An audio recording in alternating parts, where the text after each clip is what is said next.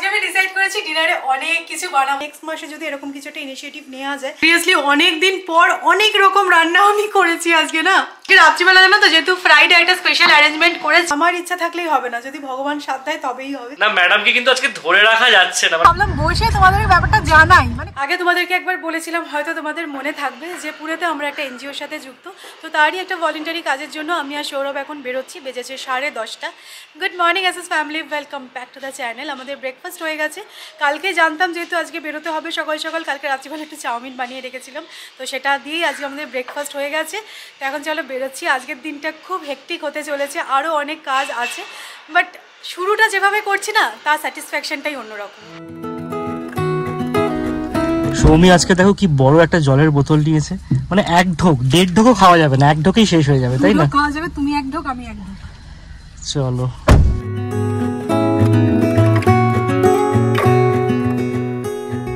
So আমাদের যেই কাজটা আছে, সেটা হচ্ছে কি এই কমিউনিটিতে তো এখানেই আমরা যাব, কিন্তু তার আগে আরও দুজন আসার কথা আছে, তাদের জন্যই ওয়েট করছি এখন। তো যাই হোক, যেই কাজটা করতে এসেছিলাম, আমরা খুব সুন্দরভাবে হয়ে গেছে। তোমরা জানোই যে এইসব জায়গায় এসে ভিডিও শ্যুট করতে খুব একটা কমফোর্টেবল আমি হই না। তো সেই কারণে কিছু ভিডিও শ্যুট করিনি। বেজে গেছে এখন পৌনে বারোটা। পঁয়তাল্লিশ মিনিট লাগল কাজটা কমপ্লিট করতে। খুব ভালো লাগল স্যাটিসফাইং জব একটা। এখানে পাস করে গেছি, কিন্তু আনফর্চুনেটলি রোদ এসে পড়েছে। আজকে কি গরম না? কি গরম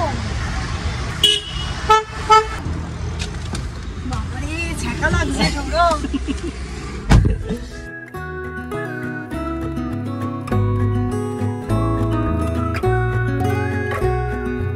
বাপরে বাপ, আজকে বাইরে কি গরম? সবাই কি বলছে বলো তো যে বৃষ্টিটা হলো না, গরমটাকে বাড়ানোর জন্য নাকি বৃষ্টি হয়েছে। তো যাই হোক, এসে ফ্রেশ হয়ে গেছি। তোমাদের হয়তো মনে থাকবে, আমার জন্মদিনের আগে আমি কিন্তু লাঞ্চ সার্ভ করেছিলাম। তো নিজে হাতে বানিয়েছিলাম সব কিছু ওই ভিডিওটাও আছে, তোমরা হয়তো দেখেছ। তো আমি আর সৌরভ আস্তে আস্তে প্ল্যান করছিলাম, যদি পসিবল হয় নেক্সট মাসে যদি এরকম কিছু একটা ইনিশিয়েটিভ নেওয়া যায়, আমি রান্না করব, তারপর ওনাদেরকে গিয়ে সার্ভ করব। তো ভালো কাজ করার জন্য না আমার ইচ্ছা থাকলেই হবে না। যদি ভগবান সাথ দেয় তবেই হবে। তো দেখা যাক প্ল্যান করেছি এরকমই কিছু। আজকে আমাদের বাড়িতে পুরো প্রিভিলেজ ফুড পোস্তের বড়া। অনেকদিন খাওয়া হয়নি জানো তো? আর পোস্তে বড়া পেঁয়াজ দিয়ে খেতে আমার হেভি লাগে। তো পেঁয়াজ কুচিয়ে নিয়েছি কাঁচা লঙ্কা বেটে নিয়েছি আর এর মধ্যে আমি একটুখানি সাদা তিল অ্যাড করেছি। আমি না দেখলাম খুব ক্রিস্পি হয়। তো সেই কারণে একটুখানি সাদা তিলও বেটেছি একসাথে। এবার জাস্ট ফ্রাই করে নেব।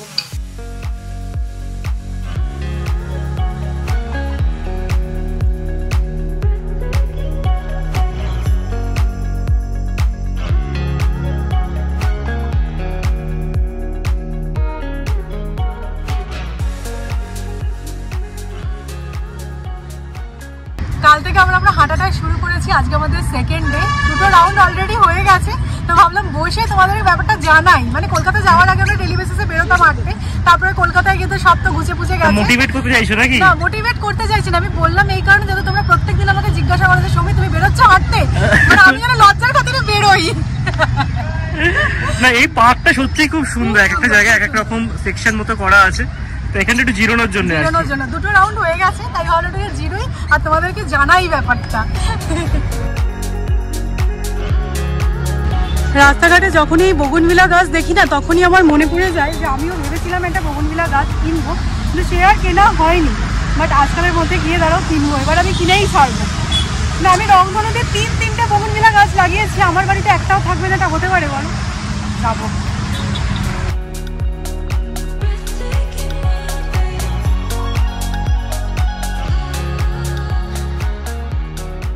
পার্কটা তো খুবই ভালো কিন্তু মহারাষ্ট্রের লাল মাটি এতে জুতো যা নোংরা হয় না? আমি তো কাচিও না কি হবে? রোজ রোজ আসব? মানে একদম যাতা হয়ে গেছে দেখো। না রোজ রোজ আসব ম্যাডাম কিন্তু বলছে মুখে নিজের মুখে। গলাটা শুকিয়ে গেছে অনেকটা হেঁটেছি। হেঁটে এসে চা বানিয়ে নিয়েছি, তার সাথে আছে গুড ডে, পুজো দেওয়া হয়ে গেছে। আজকে রাত্রিবেলা জানো তো, যেহেতু ফ্রাইডে একটা স্পেশাল অ্যারেঞ্জমেন্ট করেছি, সেগুলো সব করব, কিন্তু তার আগে রিল্যাক্স আগে চাটা খাওয়া যাক।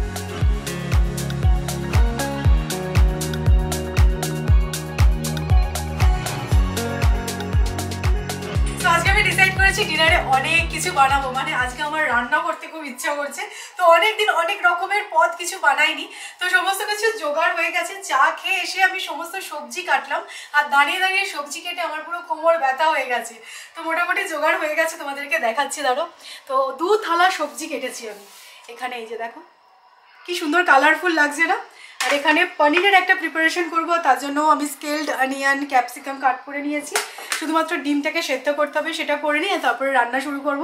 আজকে রুটি বানাবো না, ফ্রাইড রাইস বানাবো। মোটামুটি মেনু তোমাদেরকে বলেই দিলাম কিন্তু। কাজের জিনিস, আমি তো বলব তোমরাও একটা করে কিনে ফেলো। মেনলি আমি বলব গ্যাসের ওয়েস্টেজটাকে কমিয়ে দিয়েছে। তো যাই হোক, আমি প্রথমে পনিরটাকে ম্যারিনেট করব, কারণ ওটা ম্যারিনেট করে রাখলে বেশি ভালো লাগবে খেতে। তো আমি আজকে পনির টিক্কা টাইপের কিছু বানাচ্ছি, আর তার জন্য আমাকে বেসনটাকে ড্রাই রোস্ট করতে হবে।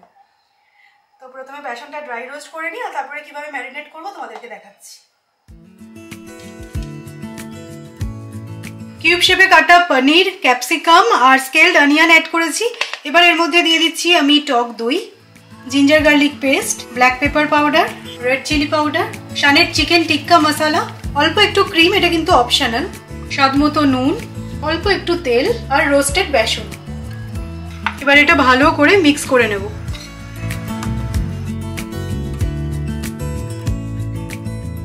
কিছুক্ষণের জন্য ম্যারিনেট করে রাখলেই হবে। আর আমি বলতে পারি, এই রান্নাটার সেভেন্টি পার্সেন্ট মতন হয়েই গেছে। এবার জাস্ট কুক করব, তাহলেই হবে। আমি দেখেছি এরকম সিম্পল রান্না দেখলে তোমরা সবাই খুব অ্যাপ্রিসিয়েট করো। দেখো, এখন আমরা সবাই বিজি কতক্ষণ আর আমরা রান্নাঘরে স্পেন্ড করতে পারি বলো তো? কিন্তু ভালো মন্দ খেতেও ইচ্ছা করে। তো এরকম সিম্পল রান্না থাকলে কি তোমরা ট্রাইও করতে পারবে? আর কম এফোর্টও দিতে হবে।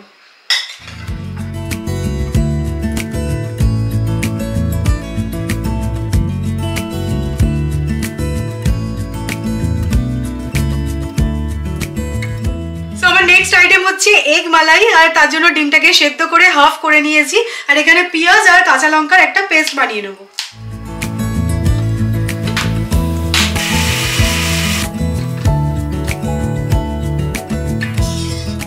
কড়াতে আমি রিফাইন অয়েল অ্যাড করেছি, আর তারপরে পেঁয়াজ আর কাঁচা লঙ্কার এই পেস্টটা অ্যাড করে ফ্রাই করে নেব। পেঁয়াজটা ভাজতে ভাজতে অ্যাড করে দিচ্ছি জিঞ্জার গার্লিক পেস্ট দেন আবারও ভালো করে নাড়াচাড়া করব। এবার সব থেকে ইন্টারেস্টিং পার্ট এর মধ্যে আমি দুধ অ্যাড করব। তোমরা এবার বলতেই পারো যে, সৌমি, কি করছ? পেঁয়াজ, রসুনের মধ্যে তুমি দুধ অ্যাড করবে? ট্রাস্ট মি এটা খেতে খুব ভালো হয়। যেহেতু এটা এগ মালাই বানাচ্ছি, তাই জন্য দুধটা অ্যাড করতেই হবে। তো টু হান্ড্রেড এমএল মতন দুধ আমি নিয়েছি। যখন দেখবে পেঁয়াজ, রসুনটা ভালোভাবে ভাজা হয়ে গেছে, তখন এর মধ্যে অ্যাড করে দিতে হবে।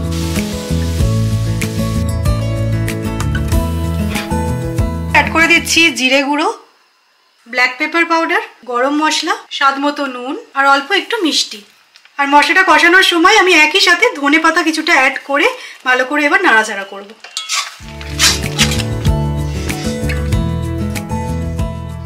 মশলাগুলো ভালো করে কষানো হয়ে গেছে আর অয়েলটাও কিন্তু রিলিজ করে গেছে।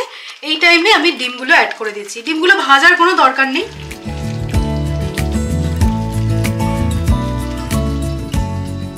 ডিমগুলো আমি ইয়ক ডাউন পজিশনে অ্যাড করেছিলাম, এবার জাস্ট উল্টে দেবো।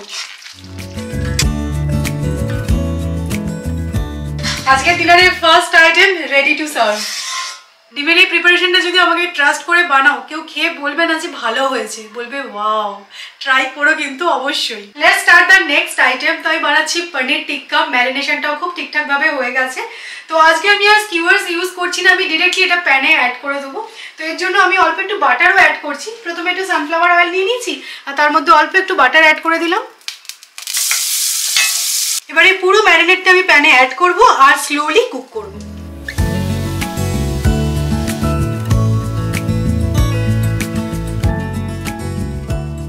পনিরের এই আইটেমটা কিন্তু একদম লো ফ্লেমে ধীরে ধীরে কুক করব যাতে পনিরটা ভেতর থেকে সফট হয় তো এটা আস্তে আস্তে হোক, ততক্ষণ আমি ফ্রাইড রাইসটা বানিয়ে নিই।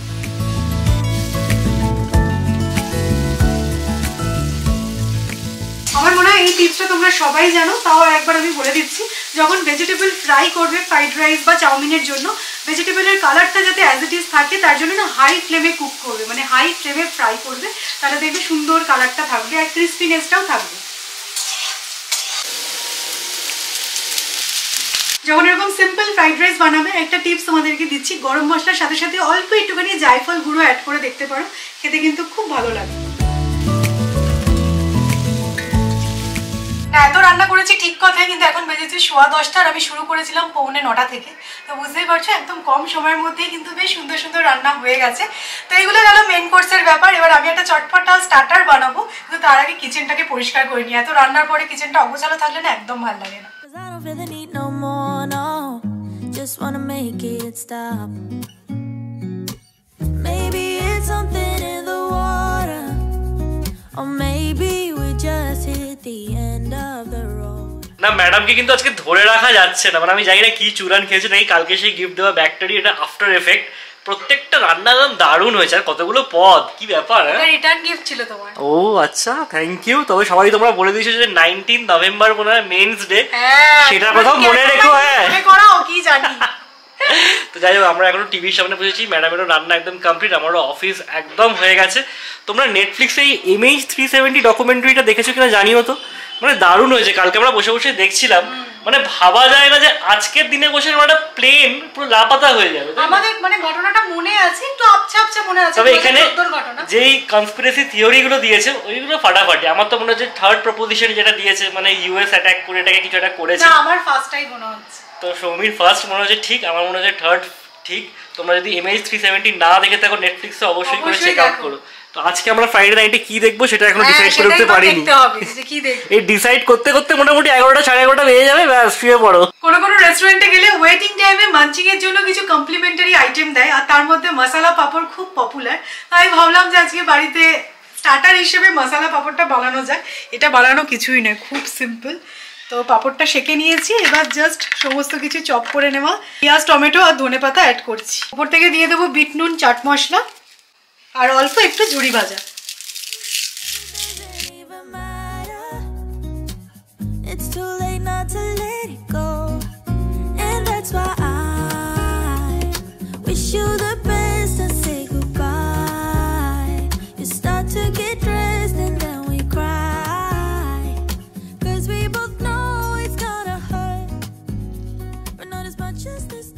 এই আইডিয়াটা বেশ ভালো। আমরা যখন বন্ধুরা মিলে বম্বেতে থাকতাম কখনো কখনো রেস্টুরেন্টে এই মশলা পাপড়টা অর্ডার করতাম।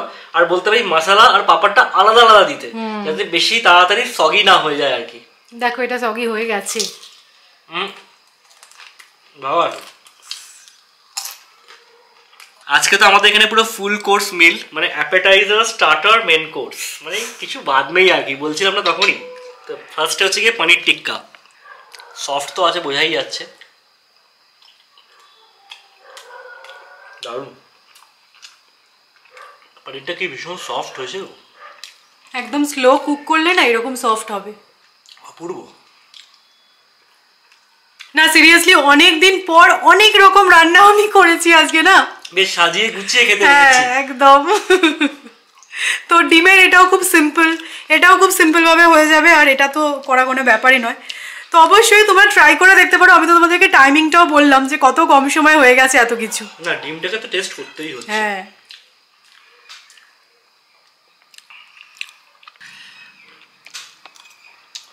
ওহ দারুণ। এটা সৌরভ আগে টেস্ট করেছে। সত্যি অপূর্ব হয়েছে। তোমার কি মনে আছে? আমি এডিনবার্গে একবার বানিয়েছিলাম। মনে নেই গো সত্যি বলছি। ভুলেই গেছি। তা বছর চারেক আগে হবে তাই না? হ্যাঁ একদম দারুণ আচ্ছা প্রত্যেকটা আইটেম কিন্তু সুপার হিট মানে কোনটা ছেড়ে কোনটা বলব? তোমার এই খাবার খাওয়া শুট করতে করতে আমি একটা জিনিস বুঝে গেছি কি বলো তো কি? আমার পাপড়টা কিন্তু সগি হয়ে যাবে। না না হবে না হবে না। তুমিও শুরু করো। একদম। হুম ফ্যান্টাস্টিক